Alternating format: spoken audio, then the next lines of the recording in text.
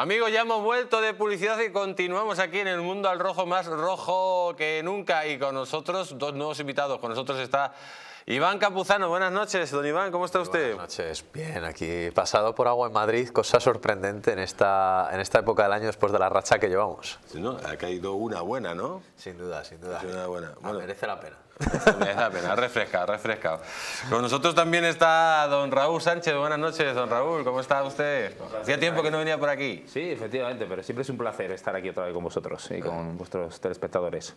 Pues amigos, vamos a empezar y vamos a empezar con esta noticia. La Fiscalía Europea ordena a la Guardia Civil que registre red.es por el escándalo Begoña Gómez.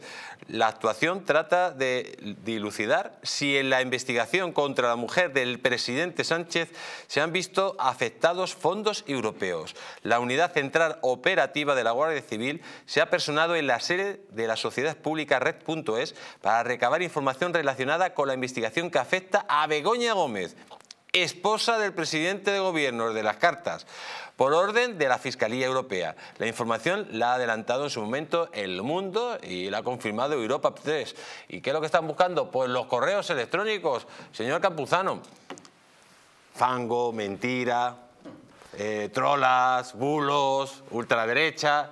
Cuando viene la Fiscalía Europea y ya se mete a investigar a Begoña Gómez y los fondos europeos, ¿Qué pueden decir estos desalmados? Pues es que la fiscal europea todos sabemos que es fascista, de ultraderecha, eh, que está controlada por jueces también europeos corruptos, ¿no? Como, aquí, ¿no? Ese es el discurso que le, que le gustaría al presidente emplear y de hecho va a emplear. Yo me lo imagino diciendo, joder, la primera fiscalía que no controlo yo, ¿no? porque todos sabemos de quién depende la fiscalía. Sé que frase está, está muy manida, pero viene, viene a colación. Yo creo que en este caso eh, los de red.es eh, poco van a tener que ocultar, porque al final los correos es entre pocos intermediarios.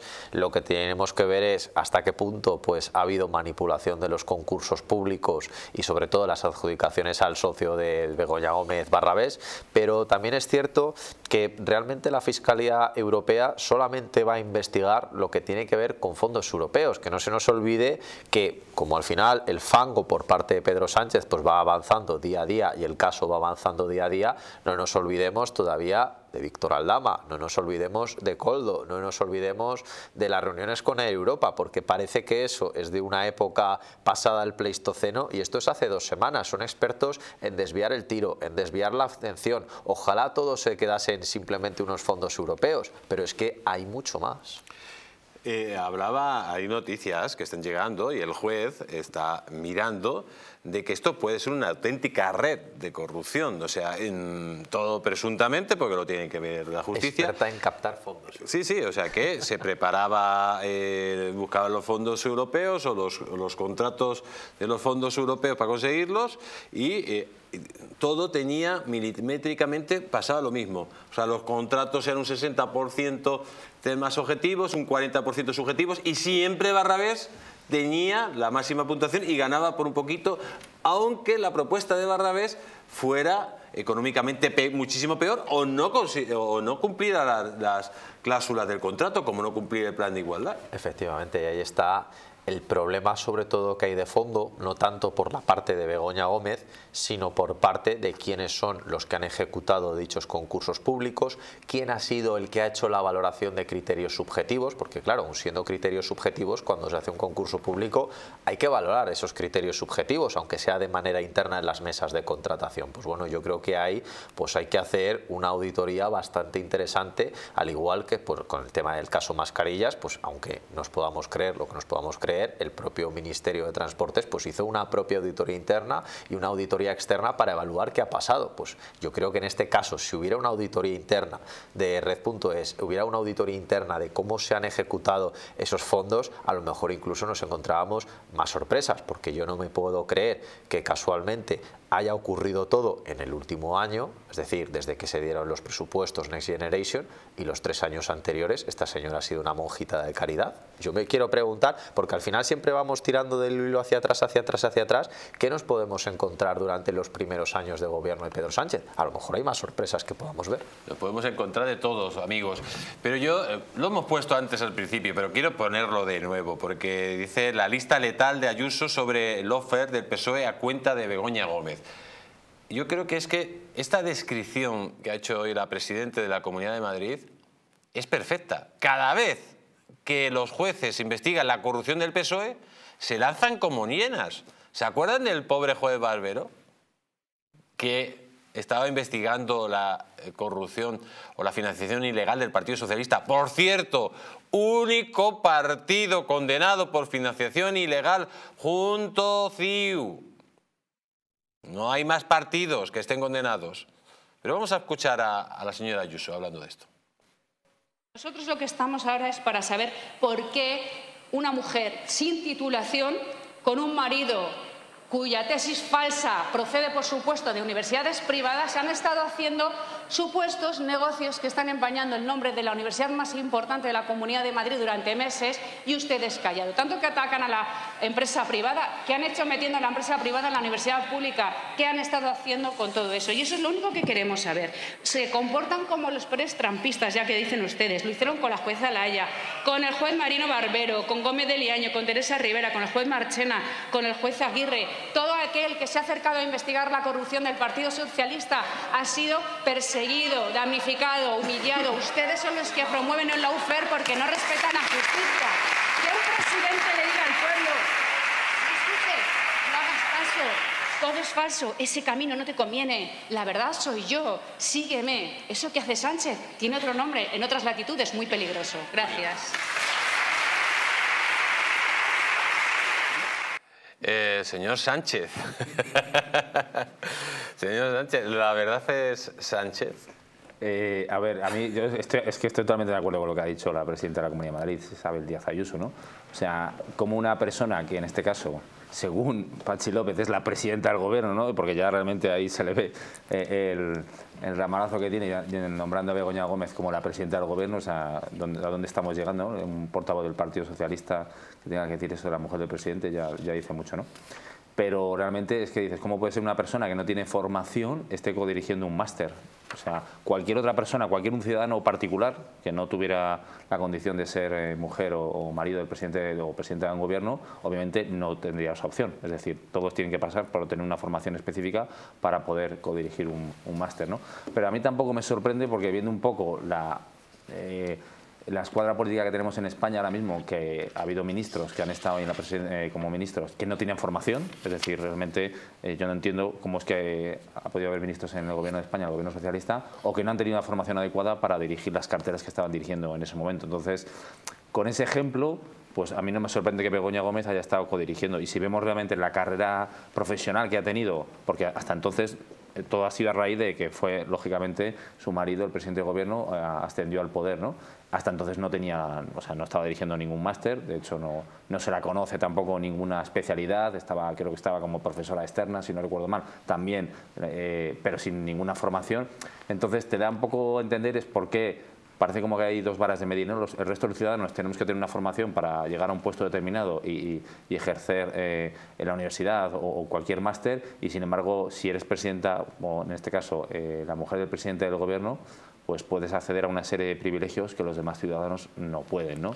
¿Qué opina usted de que ayer, con todo, con todo el cuajo, se presente Pedro Sánchez en un mitin en Málaga con su mujer imputada y encima el tipo que por cierto tenía el brazo una herida, al parecer, según dicen las malas lenguas, de los golpes que da por, por las paredes por, eh, al conocer que su mujer estaba imputada y que tiene que ir a declarar.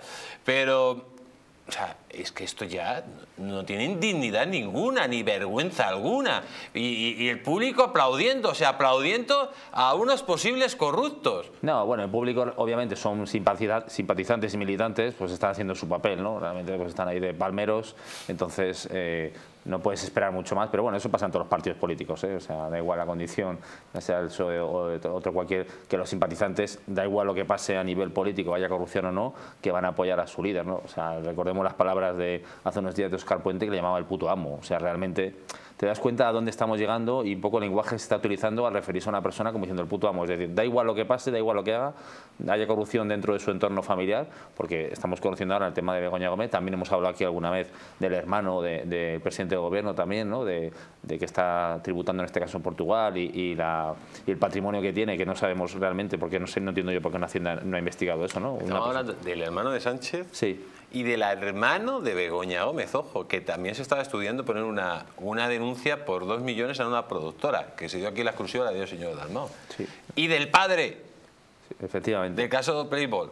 Entonces te das cuenta un poco cómo todo el clan familiar se está beneficiando de que el presidente de gobierno esté ahí en la Moncloa, ¿no? Dices, o sea, si tú analizas la carrera profesional y el patrimonio que tienen todos los que están a su alrededor, todos han, han medrado para arriba. O sea, es decir, realmente qué ha pasado para que toda esta gente se haya aprovechado de que... Por eso, no, obviamente, por eso Pedro Sánchez no quiere dimitir, porque en el momento que dimita, pues se cae todo el chiringuito y todos los que están a su alrededor dejarían de estar ahí, dejarían de aprovecharse la situación esa, ¿no? Entonces te das cuenta un poco realmente cómo la situación política que tenemos en España y cómo todo vale para seguir en el poder. Es decir, realmente, pues dices, hay corrupción, da igual. O sea, y, que tenga que venir la Fiscalía Europea a, investigar aquí, te das cuenta realmente un poco la imagen que estamos dando de cara al exterior, ¿no? O sea, a mí me parece bastante lamentable y, eh, también eh, que va a hacer casi un año, ¿no? Que se cerraron las elecciones y qué leyes han salido del Parlamento, si no ha salido casi nada. Es decir, ¿para quién están gobernando ahora mismo los, los, miembros del, gobierno? ¿Están gobernando para los ciudadanos o están solo intentando salvar su puesto para con el sentido de decir, bueno, vamos a hacer todo lo posible para mantenerse en el poder,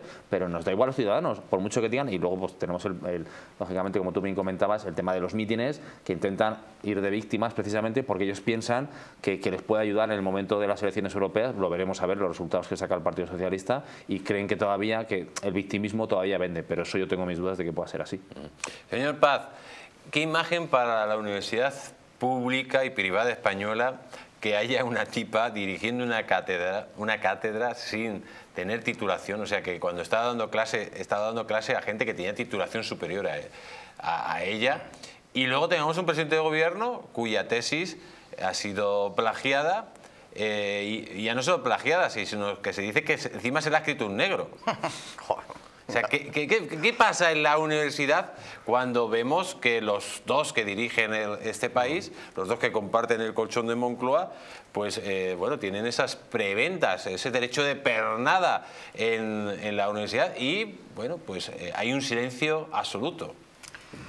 Las universidades españolas no pintan nada hasta hace relativamente poco. Siempre había un número de universidades españolas en el ranking de mejores universidades europeas. Hace muchísimo que ninguna pinta absolutamente nada. En concreto, la Complutense, que no me voy a remontar a Cisneros, lógicamente, pero en tiempos contemporáneos era una muy buena, es donde he estudiado yo, era una muy buena universidad eh, y hoy no eh, vale absolutamente nada.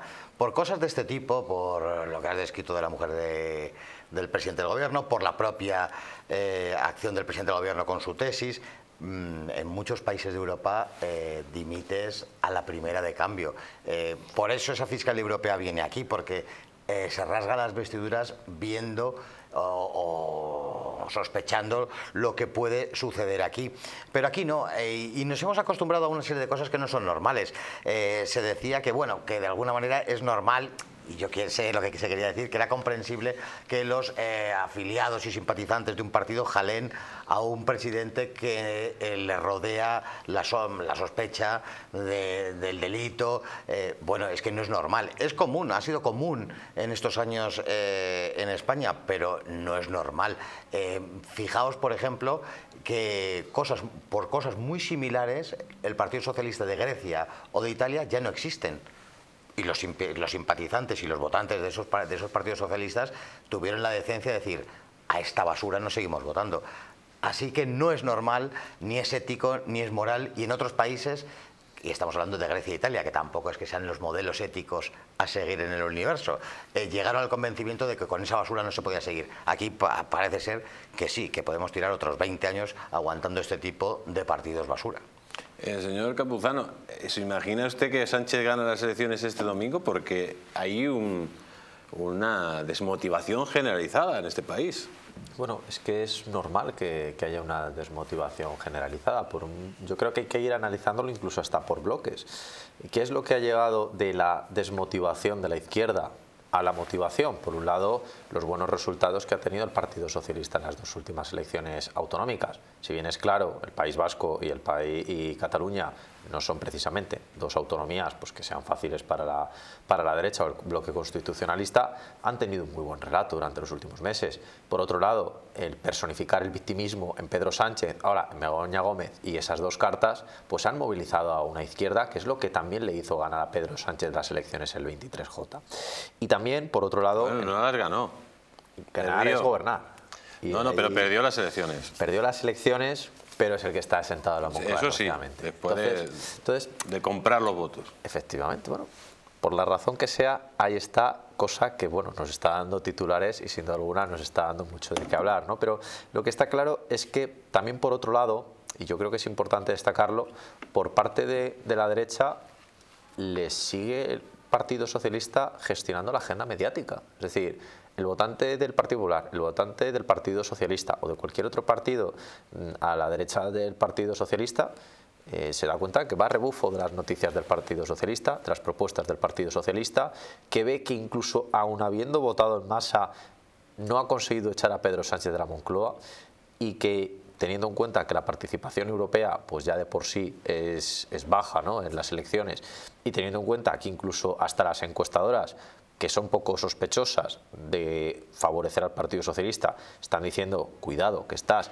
3, 4, 5 puntos de ventaja, pues claro, es que eso es un, signo de desmovilización absoluto. La falta también, creo yo, en esta campaña europea de presentar ilusión. O sea, ¿cuál es la ilusión que ha presentado, incluso más allá del Partido Socialista, qué ilusión han presentado los partidos para estas elecciones europeas? ¿Cuál es esa propuesta estrella que me lleva a mí a votar a cualquier partido en general en España. Entonces, al final, ese cisma ¿no? político de vamos a intentar separar lo que es la vida pública habitual de lo que se pone en esta campaña, al final se ha juntado todo y nos lleva a votamos a Pedro Sánchez porque pobrecito, el mío, que está siendo investigado injustamente por jueces fascistas que le persigue la ultraderecha, o voy a votar a partidos de derechas por el mero hecho de que no quiero a Pedro Sánchez. Entonces, es como una repetición de unas elecciones eh, españolas, pero de una manera un poco rara, porque tenemos una circunscripción única. Yo creo que falta más ilusión en las campañas electorales. Pues amigos, la verdad, ilusiones. Si votan en masa y Sánchez es arrasado, sería el principio de fin. Pero si no votan y gana Sánchez, estaría eh, la población española pues em, respaldando que Begoña Gómez tuviera su cátedra sin título, que se quedara con el software, que hiciera cartas de recomendación a Barrabés, el caso mascarillas, que ella hiciera contratos de 2.500 millones de mascarillas fraudulentos, etcétera, etcétera, etcétera. Voy a leerle la siguiente noticia. Dice, Begoña se apropió en 2020 del nombre de su cátedra y en 2022 de la herramienta. A ver si lo ponemos, ahí lo tienen. Eh, tenemos al otro lado de Sky a nuestra querida María Montero. Buenas noches, María, ¿cómo estás? Buenas noches, ¿qué tal? María, em, cuéntanos, o sea, Begoña Gómez nada más llegar a la cátedra complutense arrampló con todo, ¿no? Bueno, realmente lo que hace es registrar esta marca eh, a su nombre eh, antes incluso de, mover la cátedra, porque ella lo pide justamente cuando estalla la pandemia, a principio del 2020, en marzo de 2020, ante el Ministerio de Industria, le contestan en octubre, noviembre, que le dan, le dan esa marca, eh, transformación social competitiva, y de ahí empieza a tener reuniones ya en la Universidad Complutense porque necesita un profesor que la vale para poder desarrollar esta cátedra, que recordamos que es extraordinaria y que hemos accedido también a una serie de pliegos de condiciones y realmente cómo, es la normativa ¿no? la Universidad Complutense, a la de circunstancias extraordinarias y se está avalando que ya tiene bueno, un currículum, una trayectoria que la hace ser merecedora de esta cátedra extraordinaria. Vamos también a contar una exclusiva en la última hora en tu programa y es que Manos Limpias está preparando también eh, una petición al juez del juzgado 41 de Madrid que lleva el caso de Begoña para que abra en este caso otra pieza más separada. A ver, como lo un momento, la exclusiva, a ver si lo ponen los compañeros la palabra exclusiva, que nos van a dar una exclusiva en directo, una más que nos da María, María Montero. A ver, empiece de nuevo. Manos limpias, ¿qué va a hacer? Sí, Manos Limpias va a solicitar ante el juez del número 41 de instrucción que lleva el caso de Begoña, en este caso, si su señoría lo estima, una pieza separada para investigar eh, todo lo que tiene que ver con la adjudicación de esta cátedra extraordinaria de Begoña Gómez. Manos Limpias va a presentar pruebas que hemos publicado nosotros sobre ese software, ese portal de la herramienta del software del máster de Begoña Gómez que se encuentra alojado en Estados Unidos.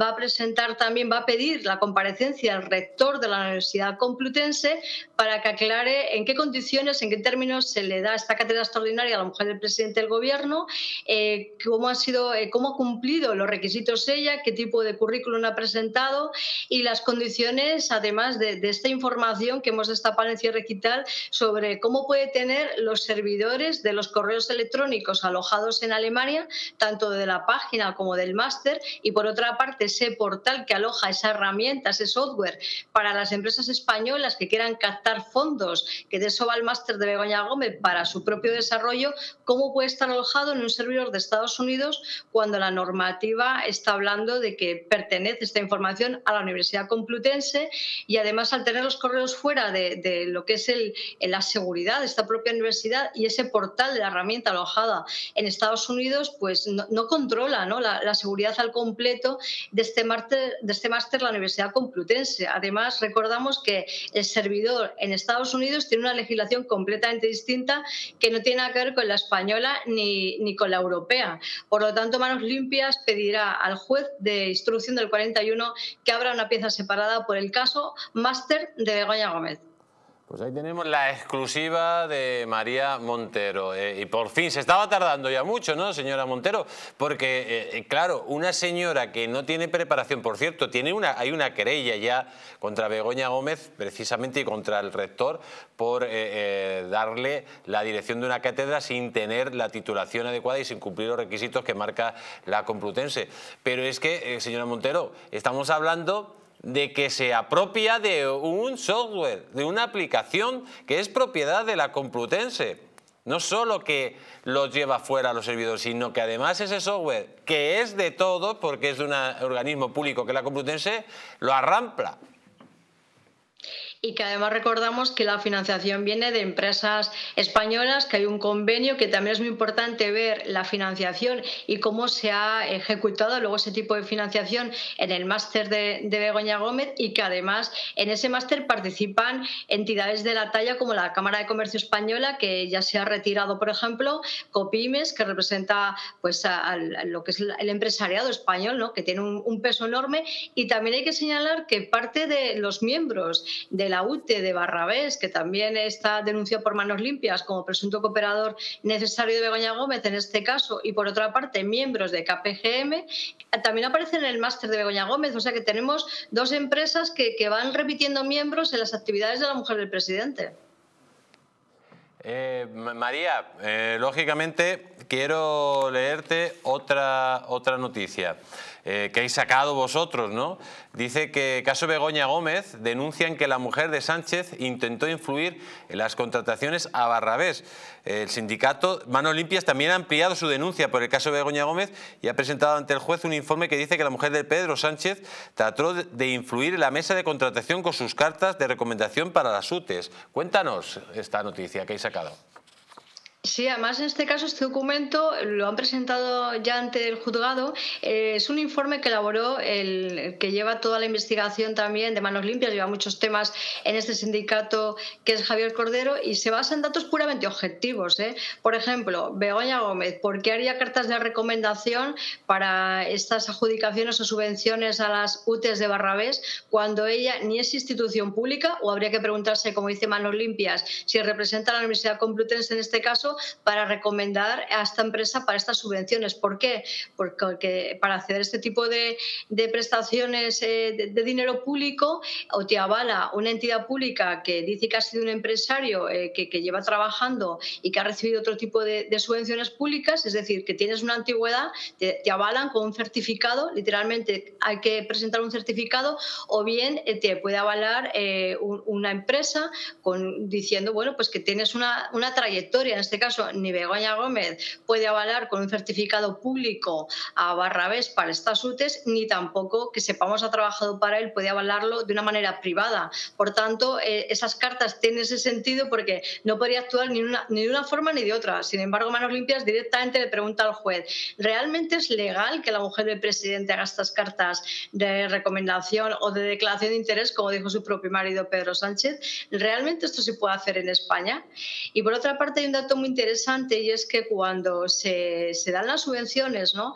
a la empresa de Barrabés, hubo otra empresa afectada, perjudicada, que lo, lo reclamó y de hecho el Tribunal eh, de, Administrativo de, Recursos de, Contratos en España pues suspendió estas eh, subvenciones durante un tiempo, durante dos o tres meses y luego eh, realmente ya no hizo nada y avaló este proceso de adjudicación a las UTES de Barrabés, de lo cual Manos Limpias también en su escrito pregunta a su señoría si este tribunal pudo ser influido en esta decisión, ya que la reclamación de la otra empresa quedó fuera de juego y Barrabés al final consiguió las subvenciones. Barrabés va a ser interrogado en el hospital. Em, puede ser decisiva la declaración de Barrabés, porque claro, Barrabés puede pasar de testigo también a imputado. Eh, y además lo que diga puede implicar directamente a Begoña Gómez, ¿no? Eh, realmente yo creo que tiene que sentirse muy presionado, no solamente por la presión mediática ciudadana, sino porque es una pieza clave en este engranaje. Eh, debe tener muchísima información. No sé si, hay pinchazos ¿no? por parte de la UCO a las comunicaciones entre él y, Begoña, porque para determinar el tráfico de influencias también habría que ver algo muy concreto, ¿no? como si Begoña le llegó a prometer que alcanzaría esas subvenciones, si hay un intercambio, si puede ser cualquier tipo de información. Yo creo que este hombre es una pieza clave y que tendría, debería decir la verdad, porque efectivamente te pueden citar como testigo y acabar como investigado, además es que ya está denunciado por manos limpias como cooperador necesario. Y luego hay un pequeño inciso también que me gustaría comentar de cara a, ese máster ¿no? y a esa futura denuncia inminente por parte de manos limpias, que está recabando muchísimos datos por parte de, bueno, pues de voluntarios de la informática que están ayudando al sindicato, me consta, y por otra parte recabando toda la eh, información jurídica que puede, ¿no? toda la legislación vigente, eh, pero es interesante destacar que hay un documento clave que realmente también Manos Limpias va a pedir y es, tiene que, hay una comisión ¿no? de revisión permanente de, estudios, es un organismo de la Universidad Complutense que realmente es el órgano clave si realmente pasaron el filtro para que Begoña Gómez fuera titular eh, de esta cátedra extraordinaria. Si no pasó el filtro, hay un serio problema también dentro del engranaje administrativo de la propia universidad y si pasó el filtro, tienen que demostrar fehacientemente por qué pasaría este filtro y por lo tanto fue eh, titular ya de esta cátedra. Y por otra parte, eh, hay que trabajar mucho y muy duro para que se respete también a los estudiantes, no solamente de la Complutense, sino de toda España, sobre todo los de informática y telecomunicaciones, porque según me cuentan expertos que hemos consultado, tanto el portal, el software, la página web y, la, y cómo están alojados en otros servidores extranjeros los correos electrónicos es de muy baja calidad, son un, trabajo informático muy básico, muy primitivo y que realmente la valoración que hacen, pues, pues eso, es de, mediocridad incluso de, este trabajo ¿no? que se ha hecho informático para el máster de la mujer del presidente. O sea que expertos valoran como mediocre este tipo de trabajo eh, y además el, alojar ¿no? los servidores, como hemos dicho, en otros portales extranjeros que no tienen nada que ver con España. Debe hacer leer una última noticia. Dice que ingenieros de Andalucía promueven una nueva denuncia contra Begoña Gómez. La acusan de hacerse pasar por informática. ¿Qué opinas de esto? Pues que, me, que, me, gusta que la gente, sobre todo lo que tiene que ver con colegios profesionales, eh, con, e incluso, ¿no? lo estaba comentando con fuentes de la Universidad Complutense, que están extrañados de que ningún colectivo estudiantil, sindicato estudiantil, eh, miembros de, de, la facultad, en este caso de informática, también se levanten en pie y, pongan reclamaciones. Además, fijaos eh, con lo que estamos hablando, los que hayan sido miembros de este máster, ¿no? de la mujer del presidente del gobierno, imaginaos si se sienten perjudicados y empiezan a reclamar, porque se están enterando gracias a los medios de comunicación de que a lo mejor ese máster pues no es lo que ellos pensaban cuando lo contrataron, habría que ver cuánto pagaron y realmente si ellos acceden a ese portal donde está esa herramienta famosa, el software de Begoña Gómez, realmente cuánta utilidad eh, tienen, eh, si les ha servido para algo y realmente la calidad, ¿no? Las empresas tendrían también que hablar de la calidad de, todo este periplo, ¿no? Tanto para el software como, como el propio máster, ¿no? Si realmente les ha servido para algo. María, como siempre, un placer tenerte aquí en el Mundo al Rojo. Recibe un fuerte abrazo. Igualmente, abrazos.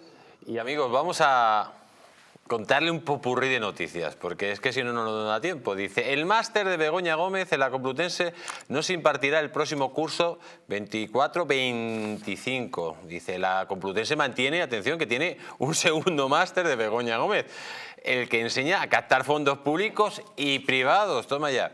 La Asamblea de Madrid investigará los favores del rector de la Complutense a Begoña Gómez. Otra más. Dice, la Universidad Complutense inicia, atención, claro, una investigación interna para comprobar quién es el titular del software de Begoña Gómez. Hombre, estaría ya por de, lógica. Pero Atención a esta noticia, y esta noticia es muy importante, porque aquí ya la han pillado con el, el carrito de los helados. Dice, sospechas sobre la apropiación de software de la Complutense por Begoña Gómez. ¿Pagó el impuesto correspondiente? Si se llevó el software en secreto, ¿ha pagado el impuesto en la sociedad 100% suya a nombre de la que anotó el programa en cuestión, la sospecha sobre la apropiación de la mujer del presidente del gobierno del software de la Complutense, encargado a tres grandes empresas y terminado de financiar con fondos públicos, no dejan de crecer. Fuentes de la agencia tributaria consultadas han trasladado una duda. Si se llevó el software en secreto, ¿ha pagado el impuesto correspondiente de la sociedad 100% suya a nombre de la que anotó el programa en cuestión? Se preguntan por qué sería un tanto extraño que lo haya ocultado y luego lo haya declarado. Pues mira, aquí tenemos a dos economistas. Señor Sánchez, eh, lógicamente habría cometido dos delitos. Uno fiscal, bueno, a lo mejor no es un delito fiscal, es una, una falta administrativa, pero si se quedó con el software y ha declarado que lo tiene dentro porque eh, se lo quedó su empresa, luego declaró ese software como un ingreso de la sociedad. Hombre, eso habrá que investigarlo, ¿no? Eh, creo que es un suma y sigue. Lo que pasa es que, bueno, no sé si sabremos realmente si se paga un impuesto, pero ahí también es verdad que los inspectores, en este caso de, Hacienda, tendrán que analizar eh, realmente si, tuvo, si, se hizo ese pago del impuesto en función de los, de los beneficios. ¿no? Eh, hemos de tener en cuenta, además, que que como comentabas en la noticia, eh, uno de los másteres ya va a dejar de, en este caso, dirigirlo, porque los patrocinadores, como son la Fundación La Caixa y Reales Seguros, han decidido desligarse. Es decir, viendo todo el ruido que está viendo ahora mismo mediático con todo eso, no quieren que se les asocie en este caso con, con este tipo de posibles corruptelas. ¿no? Entonces, en cuanto las empresas ven que que, están asociados a, los másteres de Begoña Gómez, pues salen corriendo con toda la lógica posible, porque dices, no, al final es un riesgo reputacional que pueden tener en este caso las empresas, ¿no? Entonces, eh, claro, si vemos realmente que hay un posible, no delito, ¿no? Pero a lo mejor sí una falta administrativa, como tú bien comentabas, por no haber pagado el impuesto, veremos a ver eh, qué importe tendría que ser ese impuesto, a ver si, porque luego hay unos... Ah, si supera los 150.000, 120.000 euros, ya sería, Sí, sería un delito fiscal, efectivamente, entonces hay que ver realmente cuál es la cuantía de en este caso del impuesto. Y bueno, y luego por otro lado, como bien comentaba María también, las tres empresas que, que cedieron, digamos, ese, software gratis para, para la app, ¿no? la app que, desarrolló Begoña Gómez, como fue Telefónica, Google y, e Indra, que, estamos hablando de casi más de 150.000 euros. ¿no? Entonces, si vas sumando cantidades, ah, son varias, por un lado, el, patrocinio que han tenido estas dos compañías, más el, más el, el desarrollo de la, de la app de manera gratuita, porque claro, Estamos hablando porque es la mujer del presidente. Si tú, como ciudadano anónimo, eh, pides a estas compañías que te financien un software de manera gratuita, pues obviamente te cierran las puertas y te dicen que quién es usted para pedirme usted ese, tipo de, favor, ¿no? Entonces, pero claro, es un poco el aprovechamiento que estamos viendo realmente de, la, de, del cuál es el puesto que tiene en este caso la mujer del presidente para poder optar a este tipo de prebendas o este tipo de beneficios que cualquier otro ciudadano no puede acceder precisamente porque es un ciudadano anónimo y no tiene ese poder de influencia que ha tenido la mujer del presidente. Eh, yo la interpretación que saco de todo esto ha sido un popurrí de noticias, es que tienen un severo problema en distinguir entre lo público y lo privado. Se creen, ya hubo una ministra que dijo que lo, que lo público no era de nadie, que era, era buenísimo. Pero se ha dado un paso más, más adelante y han pasado a que lo público es suyo, es suyo y entonces pueden disponer eh, de ese software y de lo que les eches eh, encima. De hecho, eh, meterse, ya cuando ha comentado Margallo lo de mi ley y en algunas otras ocasiones y en el fondo todo lo que está sucediendo, la mujer del presidente habrá que recordarles que no es una institución pública, es la mujer del presidente, es una persona física y que tendrá que aguantar los, todos todas las cuestiones eh, penales que si lo cree la investigación, lo cree eh, la judicatura, pues le tienen que, caer. Eh, es muy gracioso esos másteres que en el fondo son una filfa y no saca cuarto los másteres tal, tal y como están concebidos y por eso en gran parte las universidades españolas no valen para nada. Pero es muy curioso que se haya mantenido el máster de enseñar a captar fondos públicos. Mm, parece ya una sorna. Pues vamos a continuar, vamos a continuar con, continuando con más noticias. Dice, el software de Begoña utiliza el contenido que pagó la Universidad Complutense de Madrid con el logo y el mail de su empresa. Es que es increíble. Pero vamos a conectar con el señor Sergi Fidalgo. Don Sergi, ¿cómo está usted? Muy buenas tardes, ¿cómo están? Buenas noches, perdón. Buenas noches. Eh, sí, pues son las 23 y 35 de la noche. Es, que Sánchez, está en mi ciudad y, eh, aunque no he ido, eh, se nota por aquí unas ciertas interferencias. le ha perturbado a usted el sentido, el sentido de la hora. Está por, aquí, no es broma. Lo, he tenido, lo he tenido a 300 metros, bueno, a 500 metros, pero no me he acercado. No, no, no bueno, lo primero que todo le voy a preguntar, ¿cómo están en Barcelona después de que el Madrid haya ganado la número 15? Bueno, yo soy del español, con lo cual a mí, yo todo lo que haga que el, Barça sufra, a mí, a mí, me, a mí me divierte. O sea que yo, yo encantado. Pero, bueno, sí, están los vecinos y todo eso? ¿Cómo están, ah, hundidos, hundidos, hundidos, obviamente. O sea, yo, una anécdota, yo hace, hace, cuatro, no sé, hace cuatro, cinco años, seis años, cuando Valverde ganó, no sé, creo que fue Valverde o no sé, Enrique, no me acuerdo, ganó Liga y Copa, y el, Barça tenía que está contento, habían hecho el doblete. Pero estaban todos amargados porque el Madrid era una Champions. Y yo les decía, pero oye, pero si habéis, ganado Liga y Copa, ¿qué, más queréis? No, pero es que ese Madrid gana no nos sirve. Yo, no entendía nada. Claro, es que son así. no quieren que, que ganar ellos, quieren que el Madrid pierda. Exactamente. Más del Barcelona son antimadridistas. Sí, así son. Eh, bueno, voy a leerle la siguiente noticia. Dice, una exdirectiva de Globalia admite que enfrió su relación con Begoña tras comentarse que se pudo extralimitar. Cuéntenos usted qué ha pasado con, esta señora que, que trabajaba en Bacalúa, me parece. Sí, sí, sí, sí, exacto. Era, bueno, fue, de hecho fue expresidenta de, de, de Bacalúa.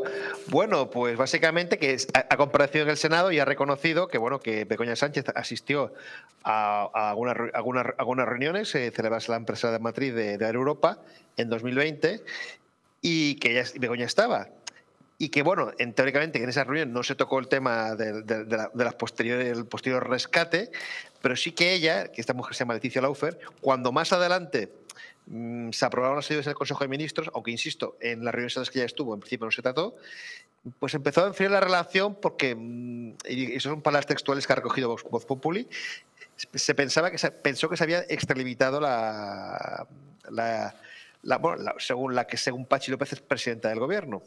Entonces, hombre, no es nada probatorio ni nada definitivo, pero sí como queda como que este halo de sospecha de que, de que hubo algo extraño, pues un poco este, ese testimonio ayuda a ello, ¿no? Decir, vale, yo no escuché cómo, o sea, esta mujer insiste, no escuchó que hubiera, digamos, una petición directa por parte de los responsables de Europa, o sea, por lo tanto ya no fue testigo de eso, pero sí que cuando se, dio, pues se apartó un poco, porque ella, reconoce que con Begoña Gómez tuvo una relación, digamos, más o menos fluida, que se mandaban mensajes al, móvil casi con mucha frecuencia y que de repente lo cortó. Le voy a hacer una, una pregunta. Eh, ¿Usted cree que Marrabés, que es el guardián de los secretos de Begoña Gómez, puede decir algo que sea determinante para que Begoña sea ya procesada? Yo creo que Barrabés mm, lo que hará en, todo momento es defender sus intereses y por lo tanto yo no sé si Barrabés, que yo creo que sí tiene esos secretos y que no sé si lo que no sabemos, esos secretos, si son buenos o son malos para Begoña, yo creo que él no, va, no hará nada que le perjudique y teniendo en cuenta que, bueno, pero Sánchez sigue siendo presidente del gobierno, pues para que se va a meter en problemas. Insisto, yo no sé si Barrabés sabe o no sabe, yo no sé lo que Barrabés pues puede contar o no, y si lo que puede contar. Es que yo creo que todo este caso, más que un caso penal, o sea, yo más que, creer que Begoña hizo algo ilegal, lo que ha hecho cosas son, que son moralmente y éticamente reprobables, pero yo creo que penalmente no tengo tan claro que vaya a llegar a, a nada.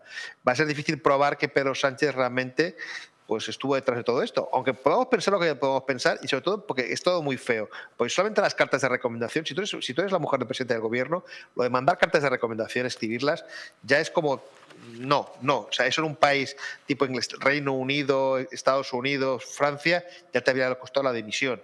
Aunque no sea ilegal, es horrible. Y no puede, un, no un presidente del gobierno cuya esposa haga ese tipo de cosas, aunque no sean, aunque no sean delito. A partir de ahí, yo creo que como estamos ante un presidente amoral, que, que, no tiene ningún tipo de, digamos, de respeto por la ética ni por lo que piensan los españoles, pues él va a tirar un jugador muy fuerte. Y yo no sé si nadie, nadie del entorno que pueda saber algo de este, de, este caso va a abrir la boca, porque Sánchez lo que ha demostrado es que si, se cargó a Ábalos, se cargó a, a se cargó a todos los suyos. Mm, ¿Qué no va a hacer con alguien que no sea de su, de su, de su entorno? Cargar me refiero, ya me entienden ustedes, políticamente o socialmente. Por lo tanto, yo no creo que Barrabés diga nada. Insisto, yo no sé lo que sabe, pero si lo que sepa, se lo va a guardar para evitar que Pedro Sánchez, que ha demostrado que juega muy fuerte, pues pueda enfadarse. Eh, le voy a leer ya una última noticia. Dice, el Emporio Sánchez Begoña en el epicentro de la causa de la corrupción de Pedro, del Partido Socialista. ¿Usted cree que los negocios que van, son transversales, Begoña, Sánchez, Sánchez, Begoña, es la clave de la corrupción, de la causa de corrupción del Partido Socialista? A venimos de Filesa, ¿eh? Es que recordemos que Griñán, Griñán no está en la cárcel, ¿eh? Griñán, ¿se acuerdan? Es que ya, no hablamos de los seres, que eran casi mil millones de euros, casi mil millones. Ya nadie habla de los seres. Parece que nunca existieron. Eso, sí que fue un escandalazo. Lo de, Begoña, es, acabe como acabe, pues vale, sí, no es nada bonito, pero lo de los seres, hay una sentencia judicial por corrupción y uno de los, de los responsables ahí sigue, ¿eh? no entra en la cárcel. ¿Qué quiere decir con eso? Que el PSOE es corrupción continuada, no es, no es este caso en concreto, ya viene de muy antiguo y me temo que en el futuro seguirá así. Señor Sergi Fidalgo, buenas noches, descanse usted. Y a votar el 9 de junio, que no tenemos que cargarnos al sanchismo votando en las urnas. Exactamente. Hay que acabar con el sanchismo y no hay que quedarse en casa, porque si el 9 de junio Sánchez sale ganador, sería el fin de España. Eso que lo sepa toda la gente que nos está viendo en estos momentos. Ahí, ahí. Eh, un fuerte abrazo. Hasta luego. Y ya para terminar, señor eh, Campuzano, eh, los negocios de Begoña Sánchez podemos decir que son transversales, en el sentido de que va desde el hermano también de Begoña, desde el hermano de Sánchez, desde el, padre de Pedro Sánchez, que eso es un emporio familiar que tiene, digamos, su epicentro en Moncloa? Es que la Moncloa reparte muchos millones de euros y los ha repartido durante los últimos años. Tenemos que recordar que Pedro Sánchez ha sido la persona que ha dispuesto de más dinero europeo que nadie en toda la historia moderna de España y Pedro Sánchez ha sido de las pocas personas que ha tenido uno de los déficits mayores de toda esta historia eh, moderna también de España eh, respecto a los presupuestos generales del Estado. ¿no? Por lo tanto, ha tenido discrecionalidad total sobre unos fondos europeos, ha tenido discrecionalidad total sobre los fondos españoles en los, presupuestos generales. Entonces, pues claro que puede repartir y puede repartir muchos millones, no solamente a nivel familiar, sino entre colegas y amigos. Recordemos que este tipo de, de favores, ¿no? podríamos considerarlos, ¿no? en caso de que se termine de probar, pues bueno, son contratos o adjudicaciones pero hablemos de lo legal, ¿no? Hablemos de esos sueldos de toda la gente que ha colocado en empresas públicas, hablemos del conductor, por poner simplemente un ejemplo, ¿no? que siempre es del que me acuerdo, aquel conductor que, le llevaba cuando estaba dando vueltas por España después de desecharle del Partido Socialista, ¿quién es hoy? Director general de Correos. a 300.000 euros al año. Sí, y eso no, es, eso no es corrupción, eso son 300.000 euros al año en una empresa pública de manera legal. Pero eso es otro favor al final. ¿Quién era Coldo? O sea, ¿quién era Coldo? Volvamos a lo mismo. Era una persona que estaba contratada como asesor de un ministerio, que estaba a su vez también en una empresa pública. En jefe, de cercanías. Efectivamente, mm. efectivamente. Y eso es la corrupción legal, la corrupción válida, el poner a alguien a cambio de favores, no a cambio del mérito o de lo que pueda aportar a la sociedad, que es para lo que precisamente se le pone ahí. Yo no estoy en contra de que a los asesores o a la gente que trabaja en los partidos puedan tener responsabilidades, pero hombre, por lo menos justifícalo un poco, por lo que, que parezca un poco más elegante, ¿no? Porque volvemos a lo mismo, el director de correos, ¿qué formación tiene? Una que es muy parecido a lo de la mujer. Entonces, ¿qué es lo que ocurre? Pues que Pedro Sánchez, hombre, al hermano le va muy bien. Como bien decía el compañero, al final tenemos que ver cuál era el patrimonio antes de la familia cuál es el patrimonio después. Pues amigos, vamos a darle una recomendación a todos ustedes, a todas aquellas personas que tengan dolores eh, de artrosis en la mano. La solución definitiva, si ustedes tienen un dolor de artrosis en la mano, tenemos un guante que va a aliviarle muchísimo, que le va a hacer la vida de otra forma. Estamos hablando de que existen varios tratamientos para artrosis de manos, analgésicos, antiinflamatorios, terapia física, calor con baño de parafina y fisioterapia. Ahora surge otro muy eficaz y más cómodo, los guantes de Relax Quanti Nanotech. En sesiones de 20 minutos dan masaje, vibración y calor reduciendo el dolor y la incapacidad funcional. Beneficios demostrados por un estudio clínico multicéntrico. Es fácil, aprietas un botón y esperas a que el guante aplique el tratamiento mientras descansas o realizas actividades ligeras. Se vende además con unos consumibles impregnados de sustancias naturales antiinflamatorias que pueden aumentar su beneficio. Los guantes de Relax Quanti Nanotet de tecnología patentada van a cambiar la vida de millones de personas que sufren artrosis en las manos. Llama ahora al 900 730 122 y consigue además con un tensiómetro gratis para toda la gente que llame ahora y además a todos los amigos del distrito no solo le van a regalar un tensiómetro gratis, sino que van a tener un descuento especial si llaman ahora a la hora de comprar estos guantes. 900, 730, 122. Y voy a darle otra recomendación. El próximo 8, el 8 de junio, os espero a todos en la Feria del Libro, en la caseta 24. Ahí estaré y estará todo el equipo del Mundo al Rojo al cual podrán saludar. Nos vamos a publicidad, amigos, pero no se vayan, porque vamos a hablar del pucherazo que viene. Atención, que Indra y el gobierno van a parar los datos del escrutinio durante tres horas. ¿Qué va a pasar? ¿Se imaginan a Lucky Luchano y a Capone reunidos en una pizzería? Pues ¿qué va a pasar? Pues nada bueno, pues eso es lo que va a pasar el 9 de julio con el Sánchez y Indra. Todo esto después de publicidad.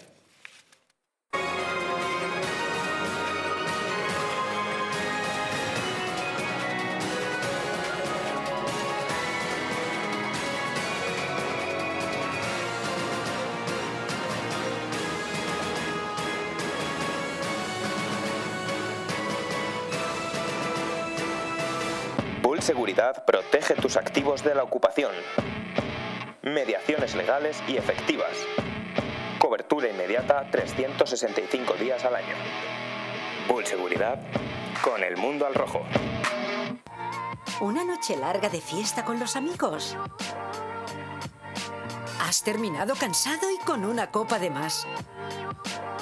Ahora en exclusiva en Naturhaus, Staff Detox el remedio que acaba con esas resacas eternas del día siguiente. Acércate a tu tienda más cercana o visita naturhaus.es. Plus Ultra Líneas Aéreas sabemos que las cosas más importantes de la vida no se ven, se sienten. Son esos lazos que nos atan fuerte a nuestra gente, a nuestros sueños, aunque estemos a miles de kilómetros. No importa de dónde vengas o a dónde vayas. En Plus Ultra seguiremos volando contigo para que nunca te falte lo más importante, los lazos que nos unen. Plus Ultra Líneas Aéreas, lazos que nos unen.